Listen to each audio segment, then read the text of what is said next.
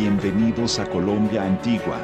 La historia es para compartirla sin egoísmo. Es por eso que cada video tiene el enlace y la información de dónde fue descargado. Esperamos que los videos y la información sean útiles para usted. Esa es la incógnita que viene luego. Porque si ya se llega a, a un límite de estos, no, no, ya uno no sabe ni siquiera qué esperar. Ya está en un momento determinado uno que se ha sentido de ser antioqueño, colombiano. Ya no queda nada.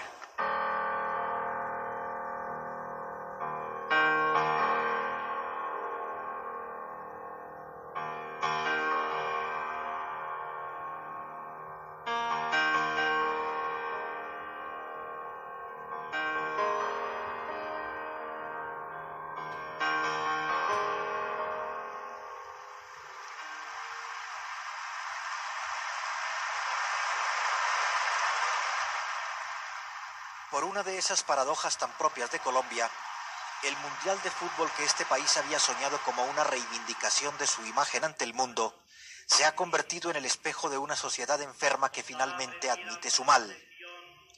La muerte del futbolista Andrés Escobar ha hecho que por primera vez los colombianos se atrevan a pronunciar en público lo que hasta ahora algunos solo decían en voz baja y por supuesto jamás delante de un extranjero. Es lo más, lo más impil lo más infame, lo más canallesco, lo más grotesco que ha podido sucederle a Colombia en toda su historia. Lo dice el hombre de la calle, lo dice el hasta hace unos días entrenador de la selección Orgullo del País y lo escriben los editorialistas más reticentes a conceder argumentos a la llamada mala imagen de Colombia.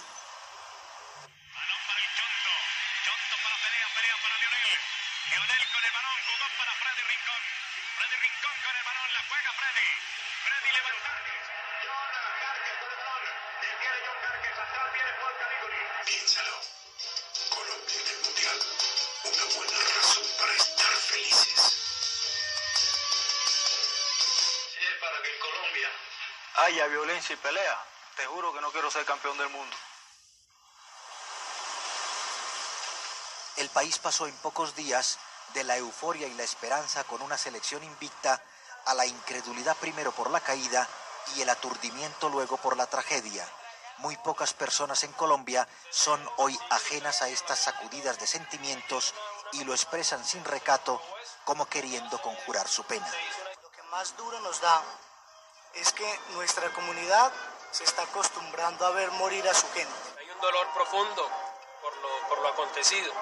Sin embargo, son cosas que, que tienen que marcar nuestra vida y ponernos a pensar también lanzándonos a, nuevas perspectivas. Nos creíamos los superdioses, los mejores futbolistas del mundo. ¿Y qué pasó? Nos dimos cuenta que no es cierto, que todavía nos falta mucho.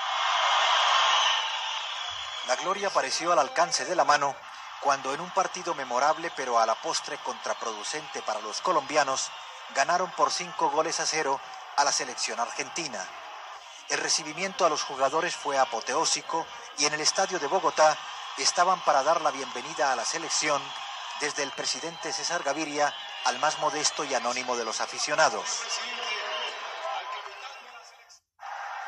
Pero la selección colombiana se estrenó en el Mundial con un fracaso y continuó con otra derrota.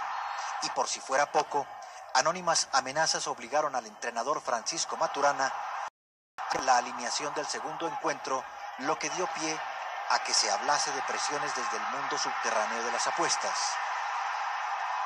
Parte de la prensa que hasta entonces había ensalzado a la selección como la mejor del mundo comenzó a ejercer una crítica feroz que encendió los ánimos.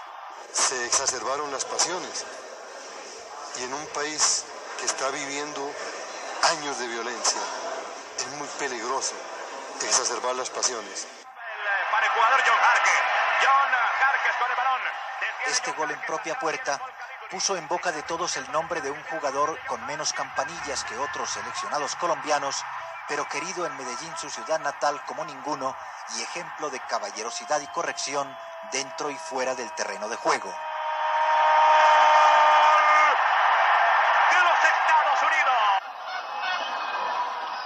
Con el número 2 en la espalda, Escobar defendía los colores del Nacional de Medellín, cinco veces campeón del fútbol colombiano. como si se hubiera muerto un hermano, el hermano mayor, el que daba ejemplo, el serio de la casa, el que tranquilizaba cuando había problemas. Andrés Escobar fue el único jugador que presentó excusas a los directivos futbolísticos por el bajo rendimiento de la selección en Estados Unidos y en lugar de permanecer de vacaciones con su familia en Norteamérica, decidió dar la cara ante la prensa y los aficionados de su país. Arropado por el cariño y comprensión de sus paisanos, regresó a Medellín.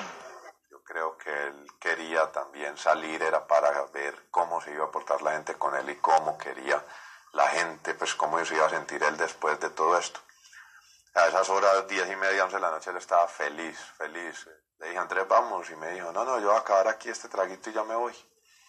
Y hasta ahí fue que pues, pude y tuve la oportunidad de estar con él.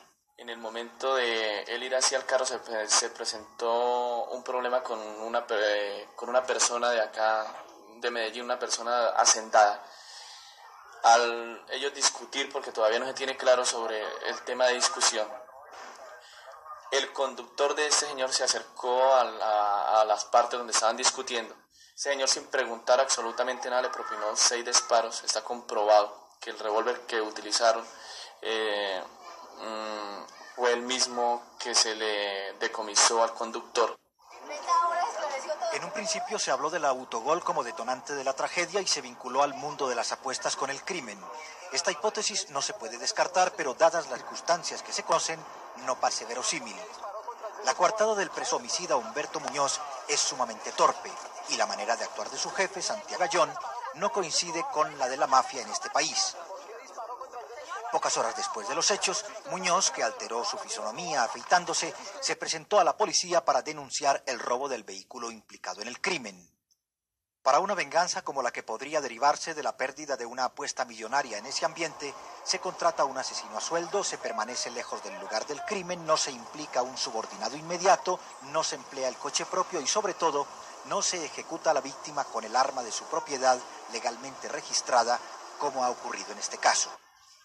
Tanto el presunto homicida Muñoz como su jefe Gallón tenían permiso legal de armas como consta en estas fichas esto precisamente es lo que hace más horroroso este crimen. En Colombia hay un millón de armas registradas y según algunos cálculos, entre 3 y 4 millones circulando de forma ilegal. Todo parece indicar, pues, que la muerte del infortunado futbolista fue, como dice la policía, un hecho aislado, tanto como las decenas de hechos aislados diarios que cegan la vida de 25 mil colombianos cada año.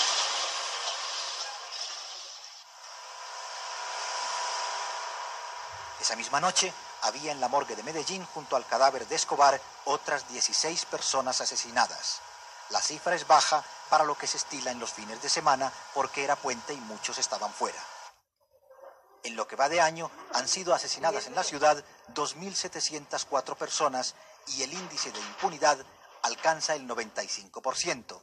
Pero ciudades como Cali y Bogotá no se quedan muy atrás en esta espantosa estadística esa inmensa mayoría de ciudadanos anónimos, esos que mueren en promedio 60, 70 diariamente, eh, parecen no despertar ninguna reacción y son fruto de unas estadísticas que se manejan con toda frialdad y que se asimilan al número de casas que se construyen o al número de vías que se abren. En medio del clima de impunidad descrito, no es de extrañarse por la celeridad con que se encontró al presunto homicida de Andrés Escobar la indignación de la gente en la ciudad era tal y su entierro tan multitudinario que las autoridades llegaron a temer que la situación se les fuese de las manos. La tumba de Andrés Escobar en un cementerio de Medellín se ha convertido en un lugar de peregrinaje para gentes de toda edad y condición. Desde primeras horas de la mañana han acudido en estos días al lugar personas que con su testimonio intentan perpetuar el dolor y la amargura de una ciudad que ya creía haberlo visto todo en materia de horrores.